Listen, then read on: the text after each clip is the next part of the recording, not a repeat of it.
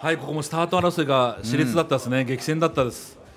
素晴らしいですねこのスタート争い。まず3番ですね。えー3番の神山拓也選手が取りに行ってまあ関東勢ですね。もうここは何としてでも前ということですよね。小林大輔選手も3番6番に取りに行ってますからここはやはりえー関東勢が前からっていう意思が強かったですよね。そうですね。はい、で吉澤選手がこれから、えー上がっていきますね、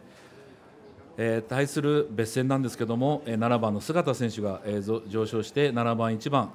えー前中段ですね。でその後ろに、えー増谷選手2番、9番、えー内藤選手難関勢ですね。最後方に、えー4番の山中選手と8番の海老根選手、えーこういった、えー隊列がまず整いましたね。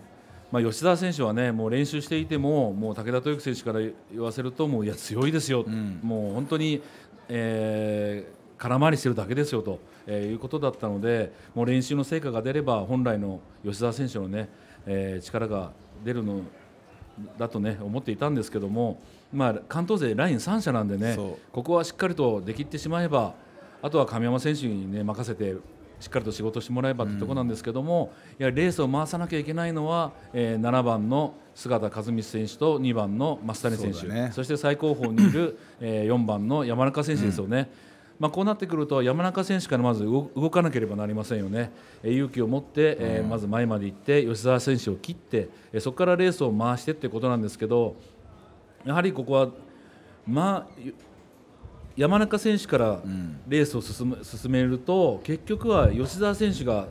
一回り回って先行体制に入るというね展開になってしまいますよね、こうね山中選手がもう少し普段あの先行とかしとけばそうねですよね。みんなこうこの松谷選手にしてもはい。姿ですね,、当てにしてね。あのうん。切り替えあの切ることはなかったでしょうけどね。そうするとこれ難関ラインそう4社になりますからね、ここで4番、8番、2番、9番のラインになるんで、一つのラインなんですけど、ここでね、うん。えー一回出たところ、ここまではいいんですけど、増谷選手が行って、吉田選手のこう仕掛け見ててください、こう7番の生方選手がここで踏んでますよ、もうね、んもうこれがもう大事ですよね、あそこで踏まないから、みんな後ろでな8番手、7番手になって構えてしまう。で足を使わずね出てるからね。そうですね、もうこれは吉田選手、もう見事な先行体制に入りました、でここはもう山下ろしから行ったので、あと1周ペースがけですよね、ここでしっかりともう一列棒状になってしまったので、もうあとは神山拓也選手のブロックをね、えー信じて先行するだけなんですけど、吉田選手の調子がいいのは、ここでね、お尻を上げてるところですね。彼の調子のいい証拠です、これはあのースタンディングができることはね、で後ろでまくってくる姿選手なんですけど、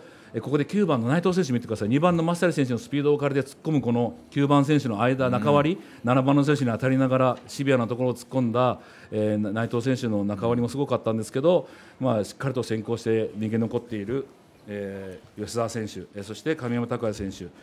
まあ、この3人の、えー上位だったですよね。まあ、ここは矢野さんまたしてもね。またしてもはい大当たり、素晴らしいです。素晴らしいです、やっぱりお客さんもね、矢野さん、早く出してよめよって感じで、